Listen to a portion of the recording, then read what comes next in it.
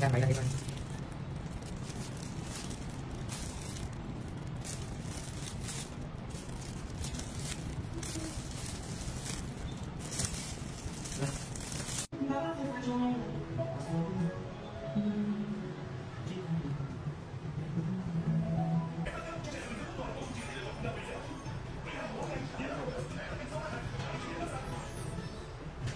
Không được ép cái chân xuống. Ép cái chân xuống thì thuốc này nó sẽ bị đẩy vào ra đầu, sẽ gây ra tình trạng sót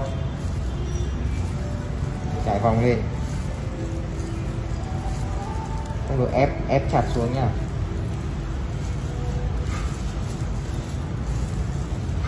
Và vào sát chân nhưng mà không vào ra đầu. Vào thuốc sát chân không vào đầu. Tách cái phần này ra thì tí nhuộm sẽ không bị viền vàng. Chúng ta sẽ trải ngược hết lên, trải ôm hết vào giữa.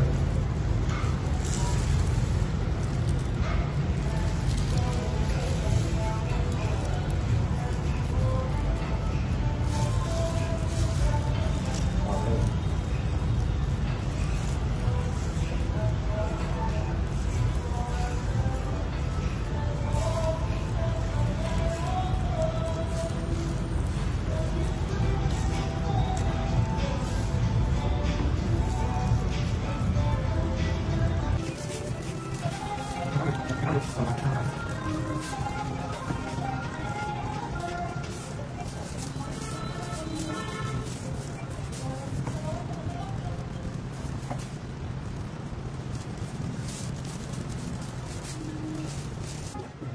chúng ta bị đi